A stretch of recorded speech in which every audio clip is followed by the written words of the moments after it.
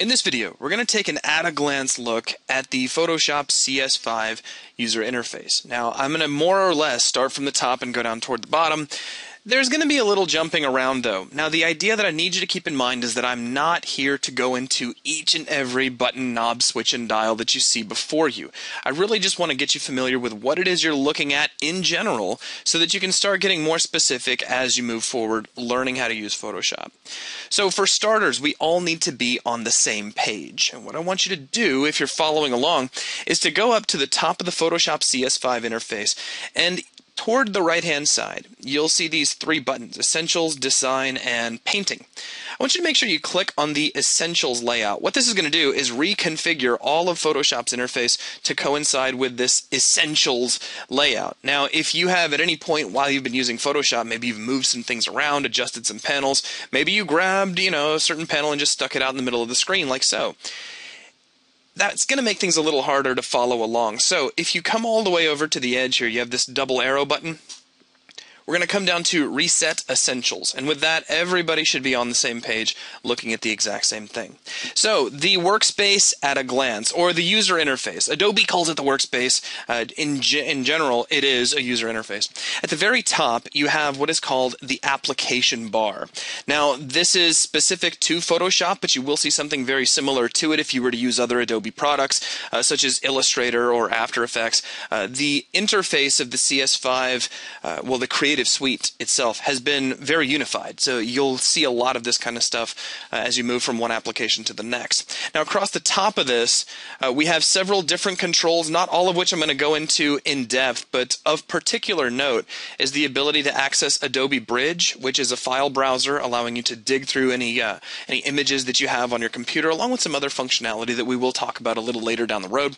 Uh, we can open up Mini Bridge, which is the same as Bridge, but it exists only inside of a single panel here in the interface, where Bridge itself is an entirely separate application.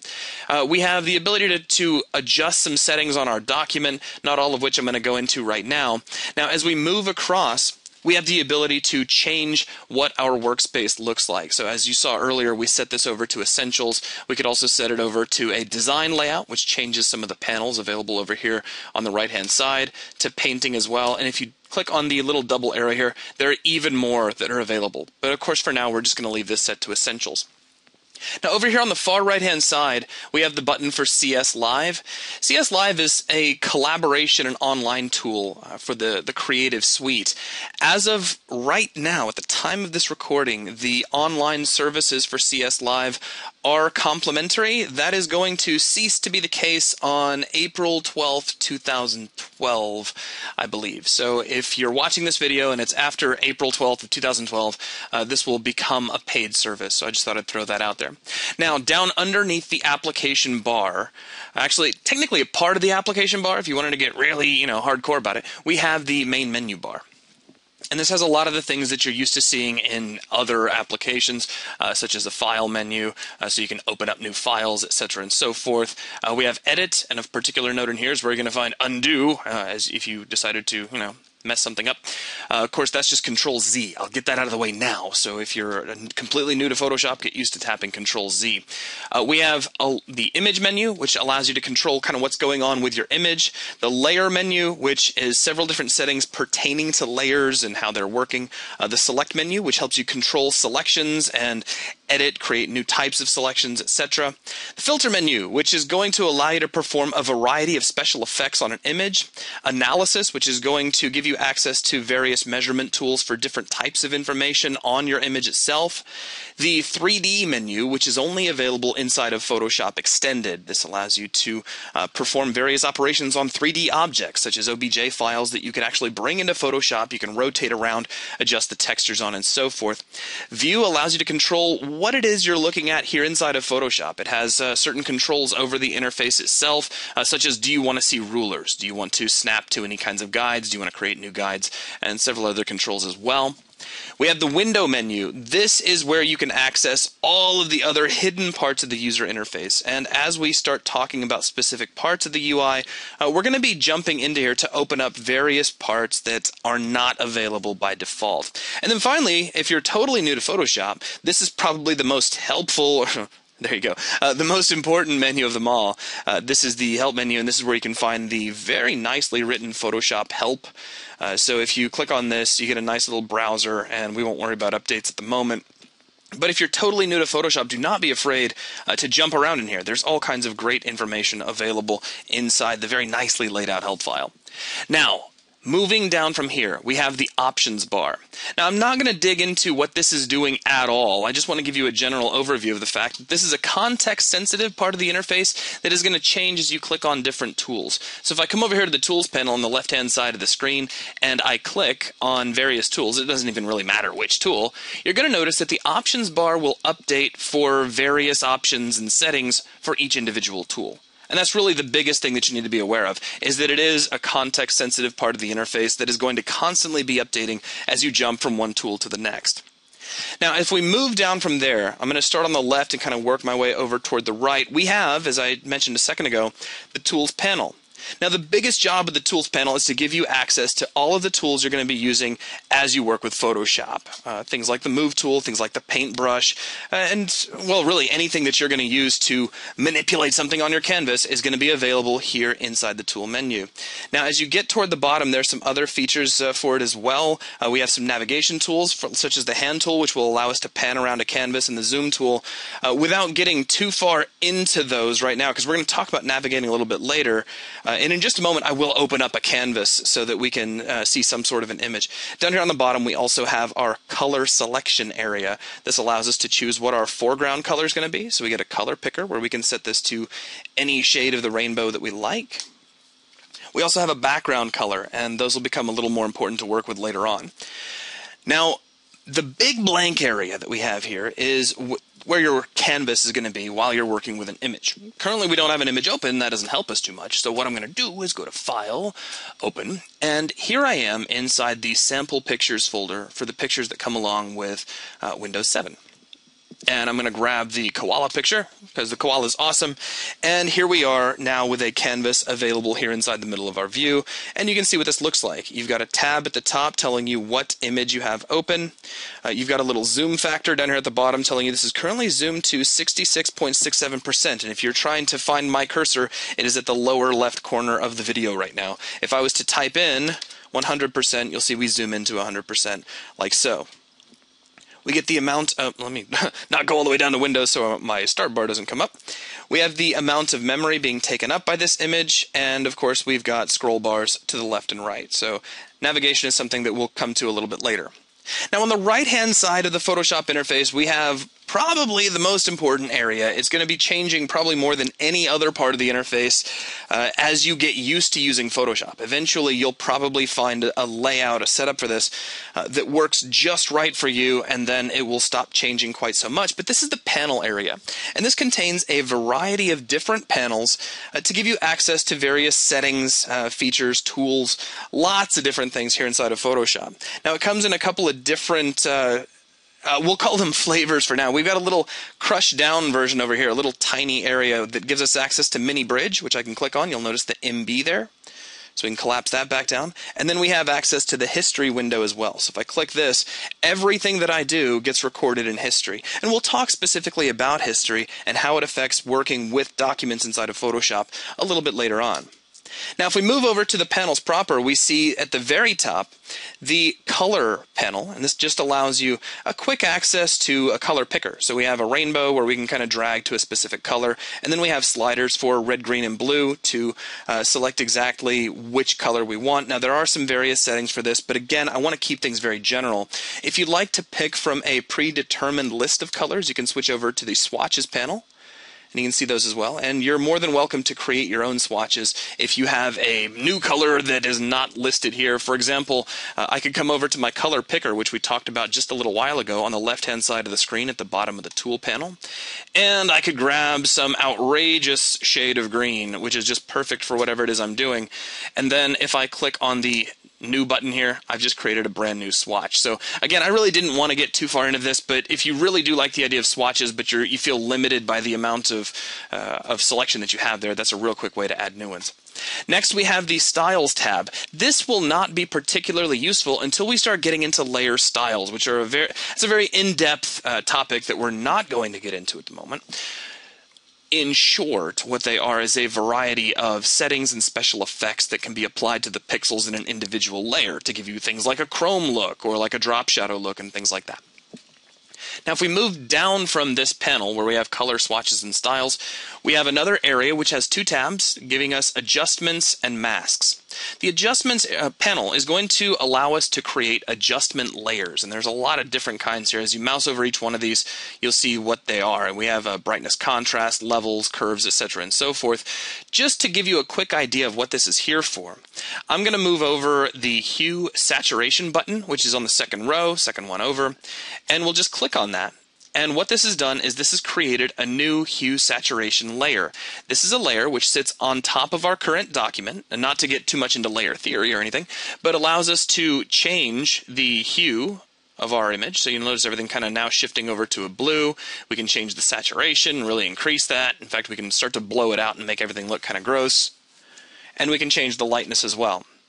The, the idea is just give you an idea of to give you a general overview of what an adjustment layer is and why this panel is here. It allows you to create and adjust the settings on these adjustment layers. Now down here on the bottom I have a back button, so if I want to create more of these I can just click on the next one. For the time being, though, I am going to get rid of that layer by undoing. Uh, to undo back far enough, I'm going to hit Control, Alt, and the Z key, and do that again one more time, and that will get rid of that layer, taking us right back to where we were. Next, we have the mask tab, or masks plural tab. Now, I'm not going to go into a lecture over masks right now, but in short, what a mask is, is a way for you to control where a particular effect or layer is taking place. You can you control the visibility of a layer on a pixel by pixel basis. And once we start working with and creating those masks, we can jump into this tab to create, or I'm sorry, to adjust a variety of settings for each one of those masks. Now moving down from here, we have another area which has three tabs being layers, channels, and paths.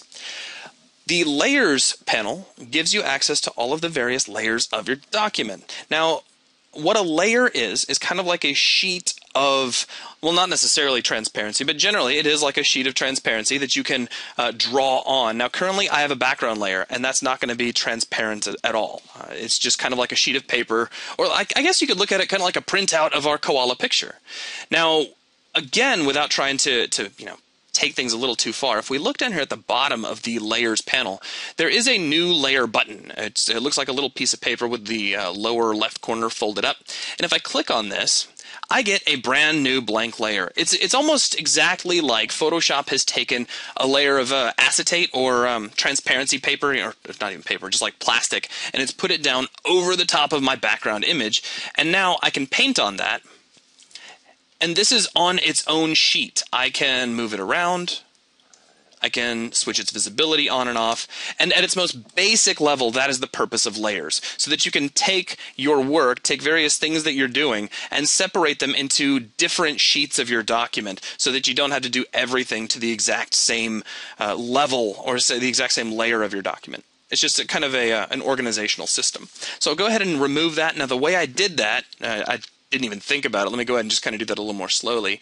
If I click and drag on this layer, I can drag it down to the little tiny trash can in the lower right hand corner, and that throws that away. And we're going to be talking a lot more about layers, how they work, and a lot of the really cool things you can do with them as we move on through this series of videos. Next panel over, we have channels. Now, to give just a little bit of background on the idea of a channel, when you are looking at an image inside of Photoshop, you're looking at a bunch of pixel data inside of a computer, your pixels are receiving color information on multiple channels. These can be uh, these channels include color information for the color red, the color green, and the color blue in terms of RGB. Could also be uh, CMYK, meaning it would be cyan, magenta, yellow, and black. Uh, and I'm try- not trying to compound things. For now, all we see is RGB, so let's just stick with that. As I click on each one of these channels, you can see how much data for that particular color is being broadcast on each pixel of the image. So for now, if I click on red, the white areas are showing the maximum amount of red that's being applied, and the black areas are showing absolutely no red. And all the shades of, of gray in between are kind of mapping out how much value red is receiving for each pixel, which is why everything went to black and white. If we switch down to green, This gives you feedback as to uh, how much green information on a pixel by pixel basis, and then finally how much blue. Now, the reason he's not changing color too much is that our koala is actually primarily gray. And gray is going to be a fairly equal mix of red, green, and blue. Uh, that's just kind of how it works. Now, if I was to zoom in, which I'm going to do by tapping the Z key, and then I'll just kind of drag right here by the eye and get us really close to the eye. You'll notice that things are, if I switch back over to the red channel, you'll notice things are really bright here around the eye where you've got that kind of pink colored skin. But then as I switch over to green, it's a lot darker around through there. Now, if I really wanted to show that off, a way that I could do that is to go back over to File, Open, and let's grab something with some really vibrant color, like this chrysanthemum image. Now, if we switch back over to our channels one more time, you'll notice the results are a lot more dramatic. So right now we're looking at RGB. This is the result of our red, green, and blue channels simultaneously. I can click on red and everything is almost completely white. That's because there's a whole lot of red in this image. But if I switch to green, things get a lot darker. There is a little bit of green being used with the red to blend out and get a lot of those natural tones, but not very much. And of course, blue, there's really almost none whatsoever. It's only when you combine all three of them that you get the final result in the color. So hopefully that, that helps make sense as to what channels are. It's really just a way for you to see how much color information for each of your primary colors is being broadcast to each individual pixel. Finally, we have paths. Now, paths are vector shapes that uh, can be drawn on your document uh, in the form of Bezier curves. Now, I don't really want to turn this into a great big long lecture on paths, but we can grab the pen tool, which you can click at. It's a, a little lower than halfway down the tools panel, or you can just hit the P key to activate it. And I can click drag on a couple of locations here inside my document. And I am creating a Bezier curve as I do that. So I just clicked and dragged three times. And I have uh, now created this curve, this path, if you will. And we can see that a work path does indeed appear here inside my paths uh, panel. Now, I'm not going to go uh, into a big long lecture as to all of the different things that paths can do. And they can do a lot of things in Photoshop. Uh, you can use them for creating various shapes to contain certain colors or effects. You can use them to warp text. Uh, there's all kinds of very useful ways that you can employ uh, vector shapes or these, uh, these Bezier curves also known as paths. But again, that's kind of outside the scope of this general lecture. I just threw that path away by dragging it down to the trash can in the lower right hand corner of this, uh, this panel. And really, that's pretty much it. The only other thing I do kind of want to mention to you is that all of these panels, on all these panels, you're going to see a little tiny icon in the lower right hand side. I'm sorry, the upper right hand side. I do know uh, top from bottom, uh, where you can see a variety of menu options that appear. Now, I don't want to dig into what each one of these do, but it is going to be unique for each one of these panels. So if we go over to the layers panel and I click on this, you'll notice we have new layer, duplicate layer, new group, etc. and so forth. If I jump over to channels, and I click on that same button again, it's a new menu containing various options specifically for channels. So these little panel menus are context sensitive for whatever panel you happen to be looking at at the time. I just wanted to mention so that you know that they're uh, they're there. Finally, this this panel area can be expanded and collapsed. So if we click collapse to icons, which is this little tiny double arrow in the corner, we can minimize that down and open up a little more workspace, which is really nice if you're trying to make the most of your canvas area.